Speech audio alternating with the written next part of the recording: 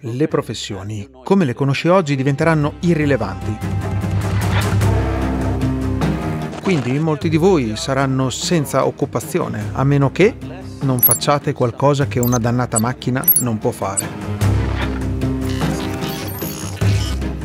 Devi essere dotato di qualcosa che vada oltre il tuo intelletto, solo allora sarai rilevante.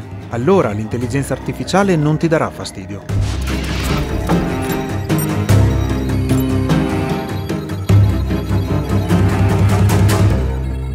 Quindi, nel mondo tecnologico di oggi, sappiamo che l'intelligenza artificiale e la robotica stanno prendendo il sopravvento. Sono le tecnologie all'avanguardia. Quindi cosa ne pensi dell'interazione di tali tecnologie, dell'intersezione di queste tecnologie con delle pratiche antiche quali le meditazioni e lo yoga? Sei sicuro che io sia reale? Perché nell'ultimo anno e mezzo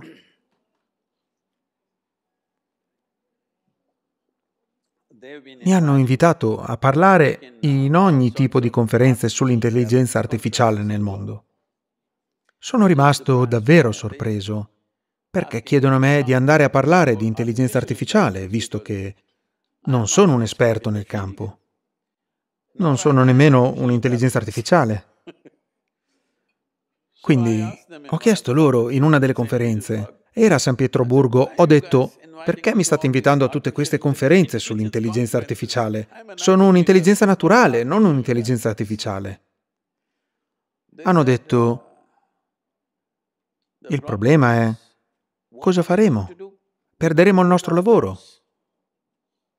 Questi sono tutti professori in grandi università, all'MIT, a Harvard, in questo tipo di posti, e chiedono a me cosa faremo tra altri dieci anni perché tutto quello che conosciamo, tutto quello che era sacro finora, all'improvviso sarà lì, in un piccolo dispositivo. Devi capire questo. Intelligenza artificiale significa che accumulare informazioni, analizzarle e proiettarle come vuoi in un determinato momento, non sarà più considerata una cosa di valore per le facoltà umane. Perché? Un semplice dispositivo lo farà molto meglio di qualunque essere umano. Già quella signora di Google sembra più intelligente di chiunque di voi, non è così? Che sembri più intelligente di me, va bene, io non sono istruito, ma voi, ragazzi, sembra più intelligente di ciascuno di voi, no? Qualsiasi cosa le chiedi senza battere ciglio, lei ce lo dice.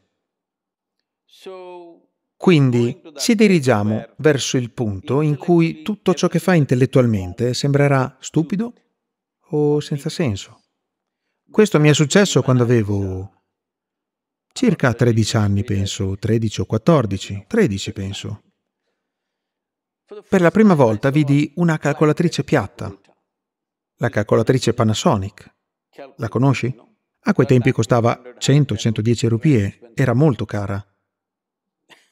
Bere un caffè ti costa di più oggi, ma la Panasonic da 110 rupie la Sony costava 125, quindi compravamo la più economica, la Panasonic da 110 rupie. Me la fanno vedere, io non ne ho mai comprate. Qualcuno me ne portò una e me la fecero vedere. I risultati. Il primo pensiero che ho avuto è stato perché diamine spreco il mio tempo a lezioni di matematica. Ho detto, mi serve solo questo, così non devo andare a lezioni di matematica. Qualsiasi domanda tu faccia, una cosa da 100 rupie può dirtela, perché questa tortura per dieci anni? Facendo questa aritmetica e matematica e cose di ogni tipo. Può calcolare persino seno, tangente, coseno, qualsiasi sordità tu voglia. Poi ho pensato, dobbiamo costruire una grande macchina che faccia tutte queste stupidaggini, così che non dovrò andare a scuola. Infine il sogno diventa realtà. Nei prossimi 10-15 anni l'istruzione come la conosci, le professioni come le conosci, oggi diventeranno irrilevanti perché adesso hanno creato queste macchine. Quindi, una volta che succede, molte, molte cose che impieghiamo anni ad imparare saranno irrilevanti. Stanno progettando qualcosa per cui se un cliente arriva e dice che tipo di casa voglio, qual è la mia estetica, qual è la mia cultura, cosa mi piace, come dovrebbe essere e qual è il mio budget. Una macchina progetta una casa completa, 10 alternative differenti, come vuoi, inclusi i quadri, i pensili a muro, i mobili, le opere. Ora dicono che tra altri 5-7 anni dicono che potrà persino stampare la casa e costruirla. Quindi immaginatevelo semplicemente, designer. Così tanti di voi rimarranno senza lavoro a meno che non facciate qualcosa che la dannata macchina non può fare. Tutti voi dovreste prepararvi per questo adesso. Dovrete essere in grado di fare qualcosa che va oltre il vostro intelletto. L'essere umano ha molti strati di intelligenza, l'intelletto ne è solo una piccola parte. Al momento il nostro sistema educativo è completamente dedicato allo sviluppo intellettuale dell'essere umano e pensiamo che sia il modo più straordinario di vivere. No, non lo è. Possiamo esplorarlo se ne abbiamo il tempo, ma nel modo yogico di considerare le cose, consideriamo che l'intelligenza umana ha 16 parti. Se esplori altre dimensioni di intelligenza, solo allora sarai rilevante. Quando tutto ciò che è intellettuale, intellettuale significa che il tuo intelletto non può funzionare senza dati accumulati, sì o no? Ci siete?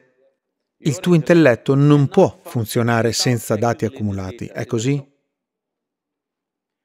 Ora, qualunque sia l'assimilazione dei dati, l'analisi e l'esecuzione di quella analisi, una macchina lo farà meglio di te. Un essere umano può sempre fare errori, può sempre falsificare delle informazioni, ma una macchina è ben definita, farà semplicemente quelle cose. Quindi tutto quello che puoi fare intellettualmente sarà irrilevante tra altri 10-15 anni. Quindi devi essere equipaggiato con qualcosa che vada oltre il tuo intelletto. Quando dico oltre il tuo intelletto ci sono molti modi di considerarlo. Farò un esempio molto semplice.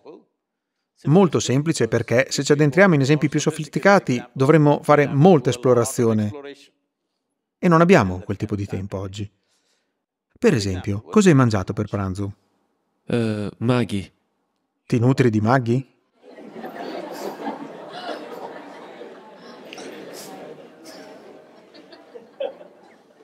Qualcuno può occuparsi della sua alimentazione? Si nutre di maghi?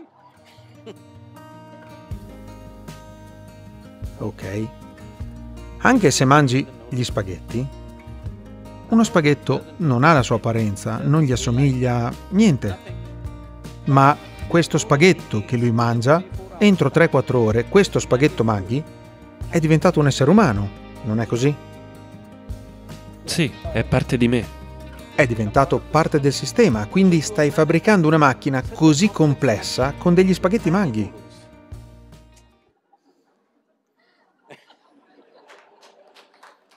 È come una stampante 3D. Ci metti gli spaghetti Maggi? No, io non sono fatto di spaghetti Maggi, ok? Mangio meglio di così. Ci metti dei ciapati dentro, questo diventa un corpo umano. Questa è la macchina più sofisticata sul pianeta. Stai fabbricando questo con qualsiasi cibo tu mangi. E il cibo che mangi non è altro che il suolo su cui cammini, sì o no? E sta in piedi. Questa non è una stampante 3D. Ci siete? Quella intelligenza esiste dentro di te, oppure no? neanche nel tuo cervello, nel tuo intestino. Sì, esiste. Sì, esiste. Esiste. Quindi, se solo trovassi un accesso consapevole a questa dimensione di intelligenza, vivresti in modo magico, non è così? A quel punto l'intelligenza artificiale non ti darà fastidio, sarai molto felice perché se le macchine fanno tutti i lavori umili, che mondo meraviglioso, non vedo l'ora.